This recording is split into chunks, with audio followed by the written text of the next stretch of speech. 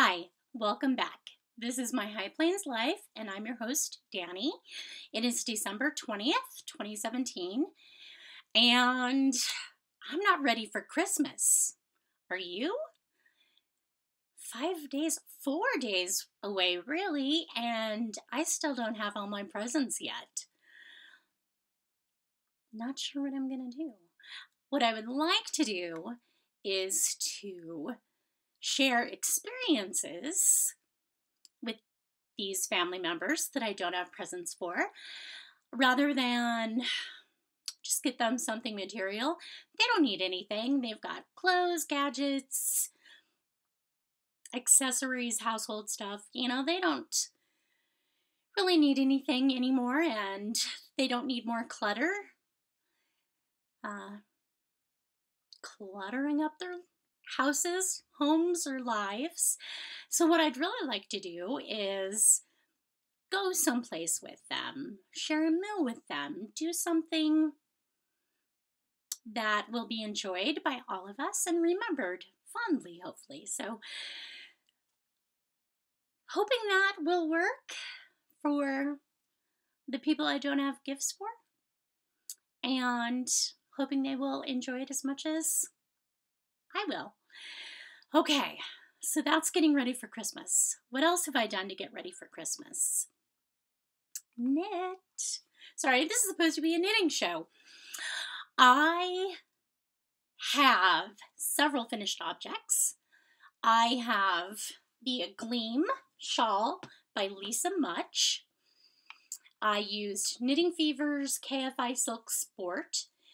I did extend the pattern as I said I was going to do and I had to redo the bind off four separate times because I kept running out of yarn. And yes, I tinked back a row. I tinked back two rows and attempted to redo the bind off before I finally got it right. And even then, I had to undo a portion of the bind off uh, because I was using a stretchy bind off. And I had to go back and like that much of it I had to do just a regular bind off on, so it's not quite as, I bet that's the stretchy side. Yeah, this is the non so stretchy side. I have not blocked this yet. It's silk. I don't know how silk blocks. I've never blocked anything that was 100% silk before it drapes beautifully. That's, you know, characteristic. This is how long my shawl is.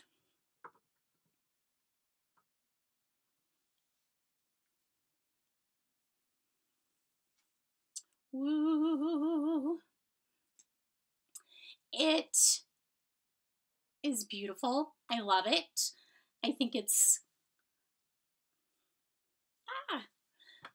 going to be beautiful wrapped around.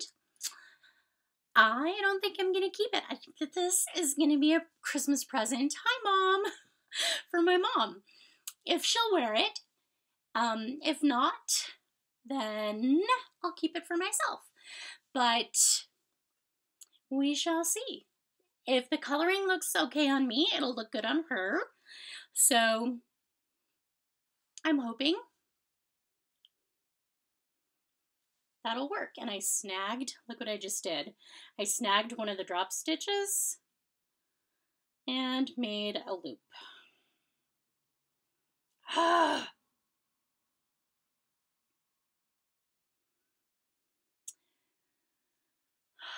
Beautiful pattern feature. Not so practical. Oh well. So this is my first finished object. And my second is a pair of socks. The pattern is Primavera. Let me see who it's by. Cannot remember, but it's on my Ravelry page. I literally started these in 2013. Years.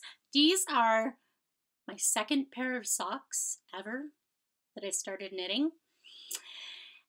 And I took them on our Canada motorcycle trip with me.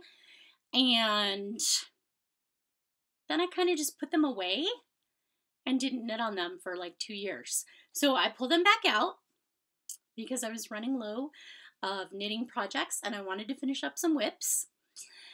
Pulled them back out and boom, like within a week I finished them. Um, finished the first sock. I know, not blocked.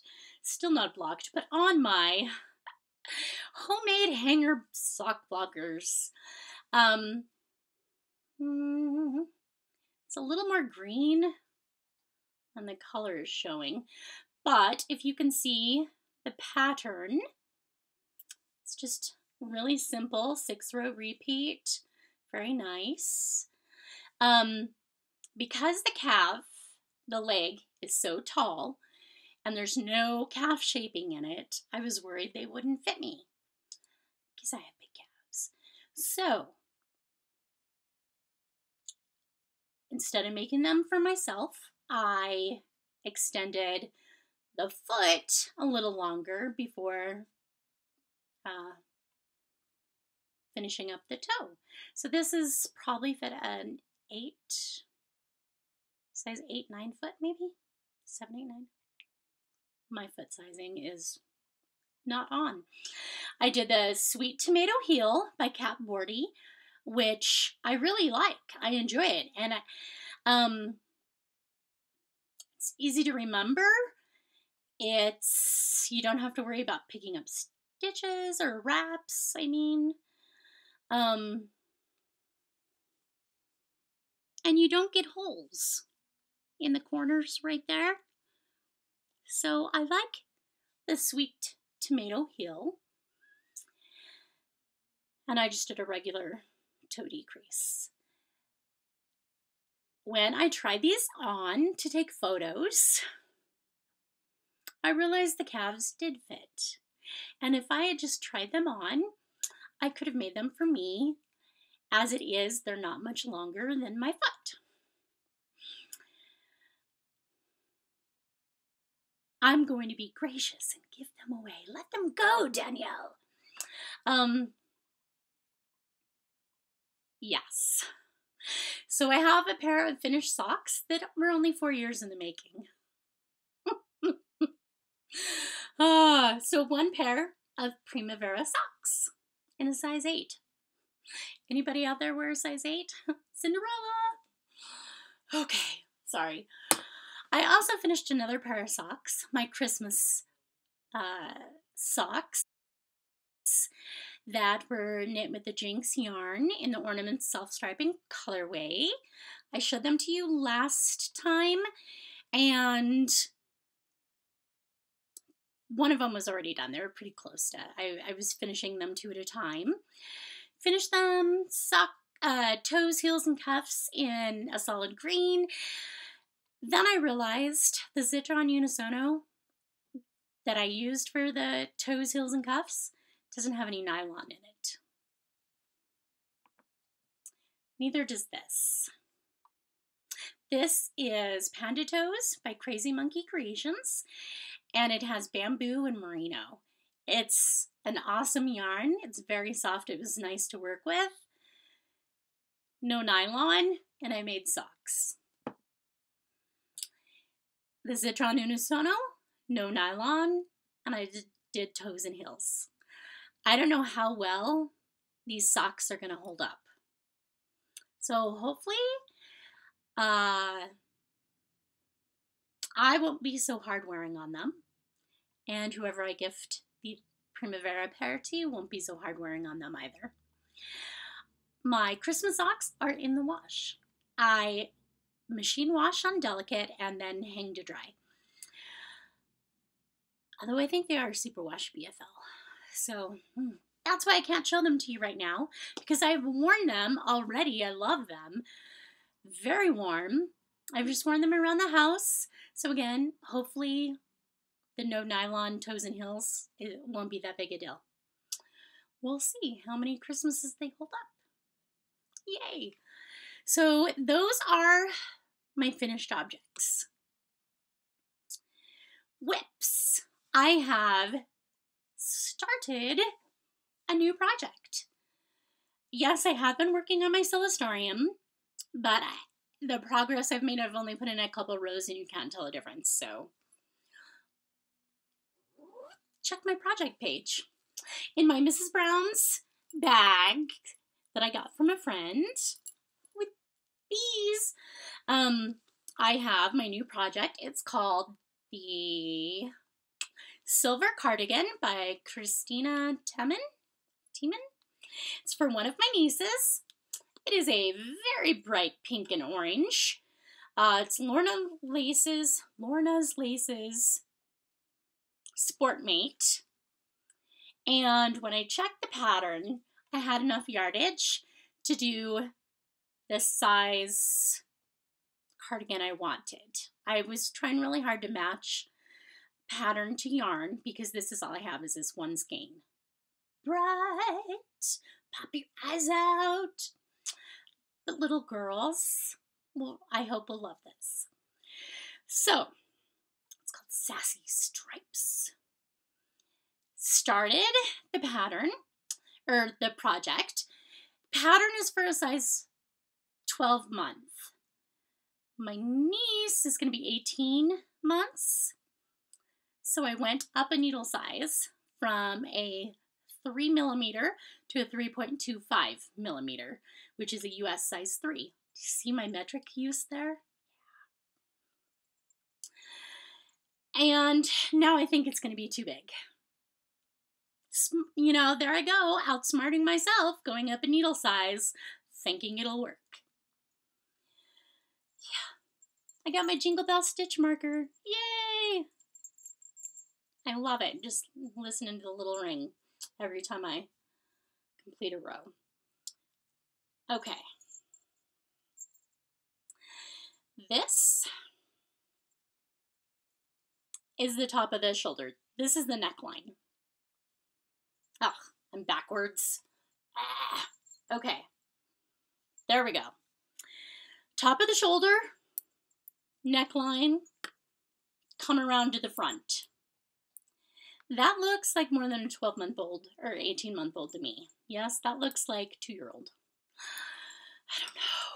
So it's got this really simple diamond lace pattern.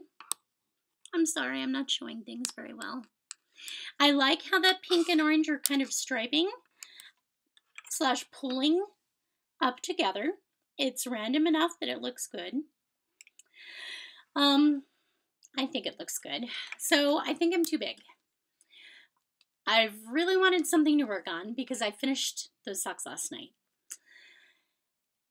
And it's killing me to not work more on this. But I'm going to be in Arizona tomorrow and I can actually try it on my niece to see how off on size I am. Yes, I can always make it for one of her older sisters. But again, I did it because I only had enough yarn for the size pattern I thought I would be making. This is it. I don't think I can find anything to match it. It's discontinued.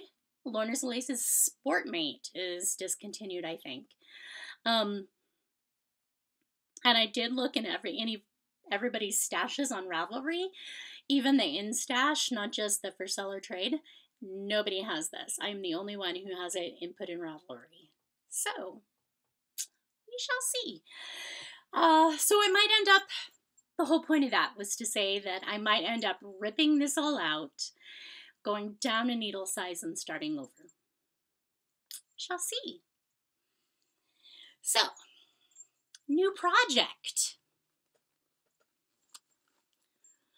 Um, oh, do you want to see what it's supposed to look like?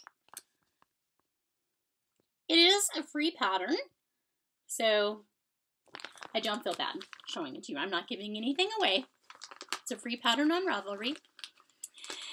And there is room in my bag for a second skein of yarn. What could be in there? Finished two pairs of socks, ready to cast on another. These are for my husband Brian. I already have my needles with them. Um, I think they're size 1, 2.25 millimeter needles because I wanted a nice tight gauge because they're for my husband. They're going to go in his work shoes and his casual shoes, maybe, to wear with jeans. And I want him to wear them. So I want them to be nice and sturdy, a tighter gauge than I normally, I normally use a one and a half uh, US, which is a 2.5 millimeter. And so these are 2.25 Addi Turbo Rockets, sock rockets. Yay! Look at that cord. Because I'm doing them two at a time. So I needed a long enough cord. I think this is a 40 inch, maybe. I'm just switching between English and metric back and forth. Sorry. Okay, so I have my needles ready. I have my yarn caked up. This is Cascade Heritage Paints Simple Workhorse Yarn. Yes, it has nylon. And there, that's a pretty accurate color. It's a navy blue with a dark gray, and it's just kind of variegated color, and it's already got dog hair on it. Yay! Even going straight from the skein winder to my project bag Yeah, that's pretty accurate. I provided a choice of three or four skeins of sock yarn and let my husband choose, and this is what he picked. Um, so here it goes. And another reason I'm using the uh, size one versus a one and a half needle is because it's pretty much a light fingering versus a regular heavy fingering. So again, I'm really trying to be conscious about my gauge and have a nice sturdy fabric for my sock. This is supposed to be my new Christmas Eve cast on. Um, I love Dani of Little Bobbins Knits, and it's not just because we share the same name. Her podcast, her entire aesthetic is gorgeous. I can't do that. And all that pastel would probably drive me crazy because I'm more of a jewel tone person. But I love watching it and seeing what she's done with her home and her craft room and just the way she lives her life. I really enjoy it. So, she does a Christmas Eve sock cast on every year. And I have not participated in the past, but I thought I'd do so this year. I have my yarn caked up. I have my pattern printed. And somewhere, it's a very simple, free pattern on Ravelry. It is actually called,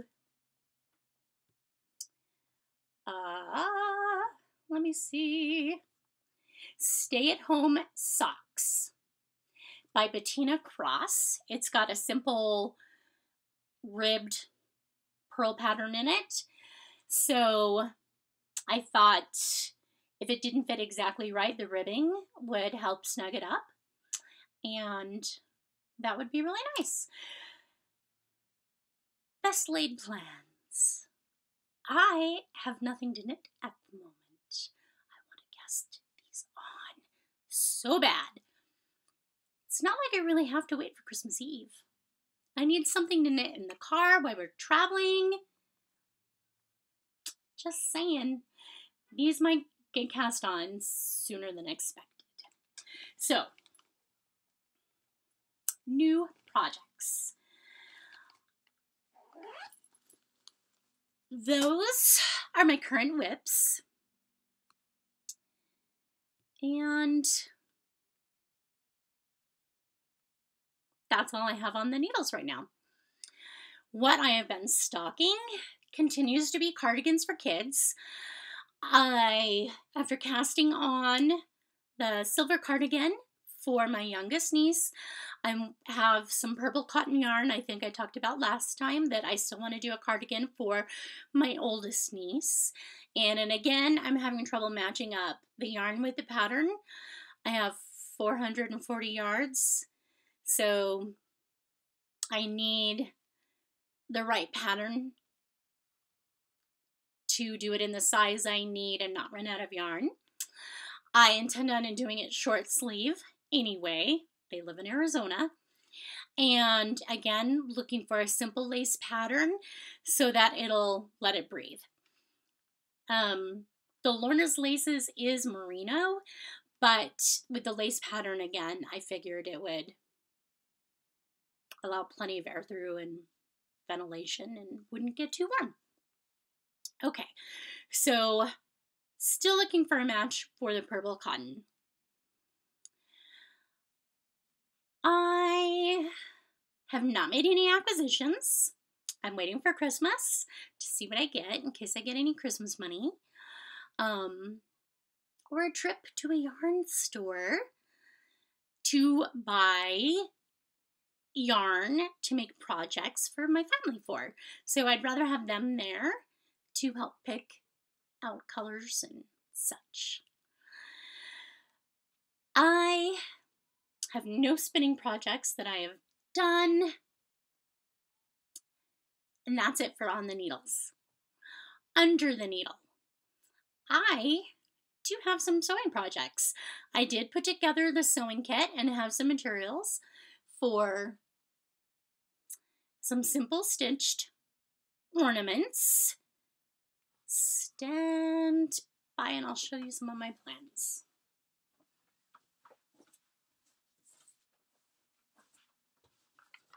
Sorry, I forgot to bring it over before.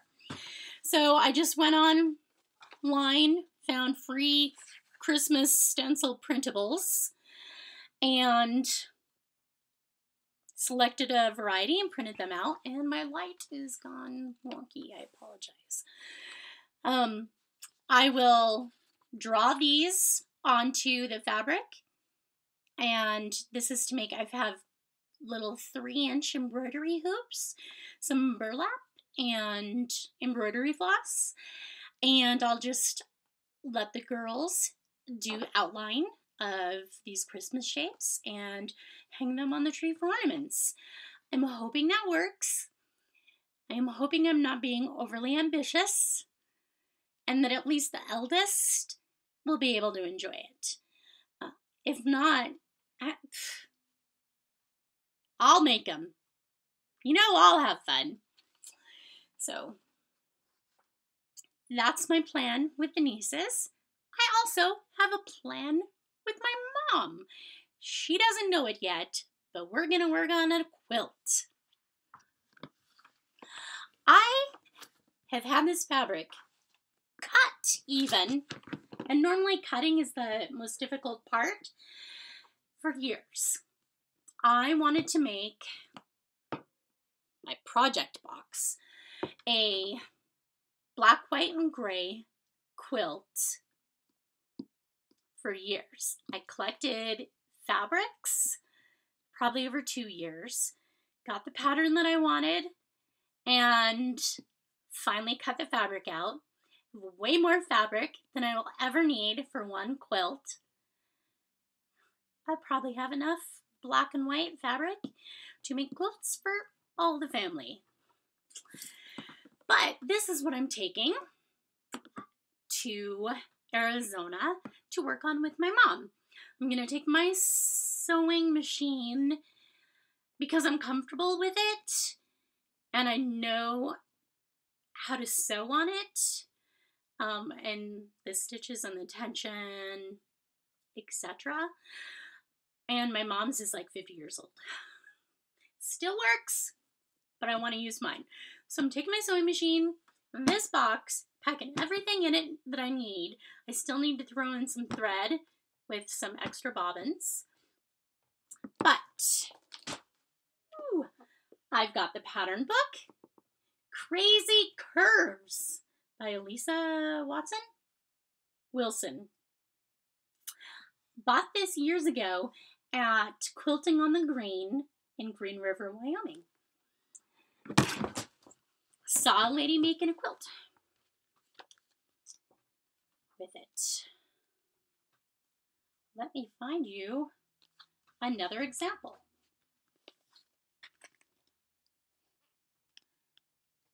I'm probably violating some copyright law, but it's not for sale. Isn't that beautiful? That's done with batiks. But I love the design. It came with templates. I have no clue where they are. Good thing I already cut the fabric out.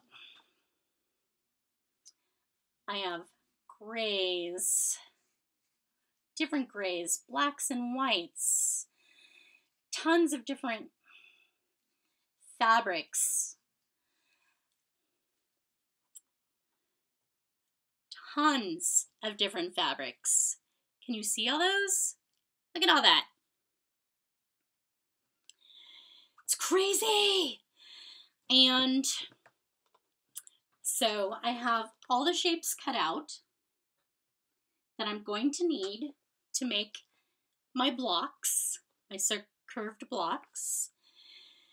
Again, enough for more than one quilt.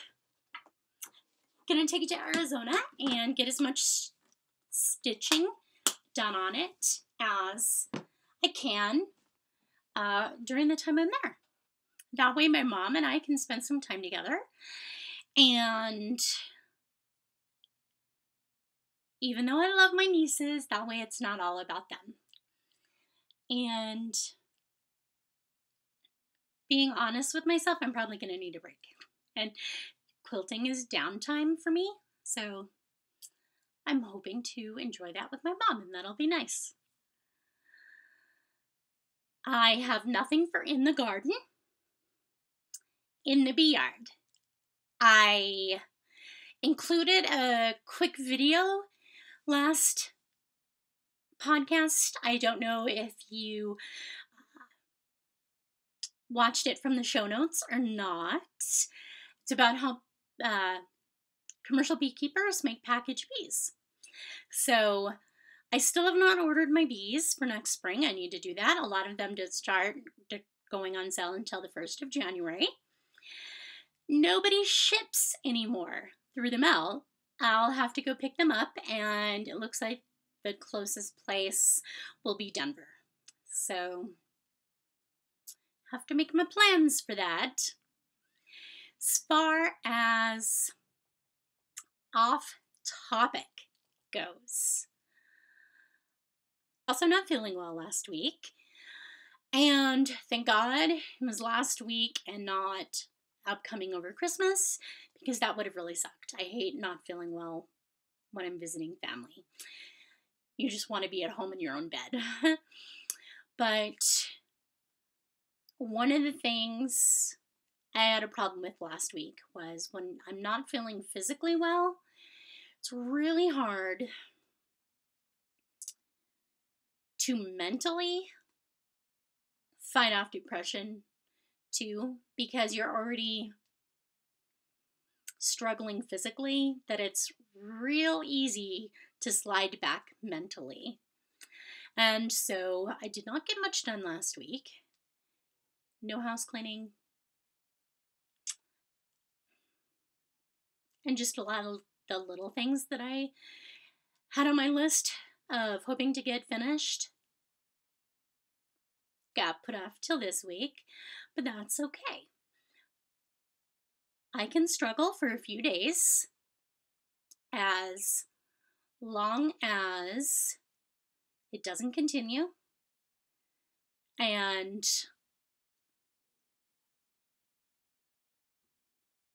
I come out of it okay. So that's what I've been struggling with lately. I have a lot to talk about this week, I guess. Um, I received my Christmas card for the Yonder Woman flat envelope swap, and I put mine in the mail. I hope they like it. I failed. I failed again. I did not bring up the card um, that I received. Some yarn was included that my swap partner dyed herself. And it was just a some really nice, cute little things, and some tea. I had a lot of fun making up a movie night basket for my local fire station. Yay, Falcon Fire Protection District Station number four. Shout out to ya. I'm such a dork. Um, I wanted to do something for Christmas, and the most obvious baked goods. You know, some banana bread, pumpkin bread, Christmas cookies, etc., whatever, something, and drop it off at the station. While doing some research, it came up that a lot of fire stations would no longer accept baked goods. And this is nationwide. You know, they don't know what crazy cat lady's kitchen it came from, or, you know, how clean their oven is or whatever. So I called this station and asked if they accepted baked goods, and they said no. The reason they don't accept baked goods is because in Colorado, marijuana is legal. There is edible marijuana products all over. If you want to get it, you can get it. It's the whole point of being legal. Um, and apparently somebody has tried to get our firemen high. Who would do that? Police, I understand. Ha ha, joke's on you. But firefighters? Seriously. I mean, if you're in a car accident or there's a grass fire, you know, kitchen fire at your house and you call a fire station, do you want. You're screwed if the firefighters are high. That's just, that's not a funny joke. So, because of edible marijuana products in Colorado, they no longer accept baked goods. Okay. So, I was talking to my sister, and she gave me an excellent idea. She said they always liked it when they got a Redbox gift card and some popcorn for a movie night because they do well, they did 24 hour shifts, and our fire station does 48 hour shifts. So when they're not on a call, they've got downtime, obviously, and sleep, work out, watch movies. So I put together a basket with some popcorn, hot cocoa, coffee. Oh, some of those little popcorn paper boxes you know, popcorn boxes put microwave popcorn in to be fancy. And what is a movie night without Mike and Ike's, gummy bears, and licorice? I also included a thank you card and said they had to share with all three crews. There's three crews on 48 hour shifts of three people each. And I included six Redbox promo codes for Blu rays. So that's two movies per crew if they share, like I told them to. So we'll see. I went to drop it off, and they must have been on a call because there was nobody there. They basically allow open access to the lobby, and then the doors require keycard entry. So I did ring the doorbell, and I could kind of see in through one of the doors. Um, and it appeared empty. So I left the basket at the door, hoping they would notice it. I posted this on Facebook, and that's kind of why I posted it, is because I tagged fire station number four, hoping they'd see it and realize there was something there and not miss it. And also because I had a lot of fun putting this together. It was cheap. I spent maybe 25 bucks. It was easy and it was a lot of fun. It was great, you know. So if you need some ideas about what to do for your local fire station or um, community service members over Christmas time, Pinterest is your friend. Um, yeah, it was great. What else did I do? Oh, and I wanted to do this for my fire station because it's brand new. They just opened this year and it's literally down the street from me. Literally. We have the same street. Down the way. That's it. That's how close. Thank you for lowering my home insurance rates. Okay, what else have I been watching? Obviously, these are not open yet. They're still wrapped in plastic. I'm taking them to Arizona with me, and hopefully, my family will enjoy watching them with me. It's Rick Steves! Oh, Claire, this is European Christmas? Look at that! And this, Europe, the complete collection. Come on. Tell me you don't watch PBS when Rick Steves is on. Excellent traveler, smart, great tips. Beautiful, beautiful places he visits, travels, and gets into the history of. It's I love watching it. So, very excited to own the DVD collection now. Take these to Arizona with me and hopefully watch some with the parents. Um, that's what I've been watching. I've also been watching the Broncos. They've won two games in a row. Okay, I'm gonna go eat lunch and then pack. Oh, you can find me on Ravelry, Periscope, and Instagram as Dani Girl Co. And show notes can be found at www.myhighplainslife.blogspot.com. Thanks for watching. Bye.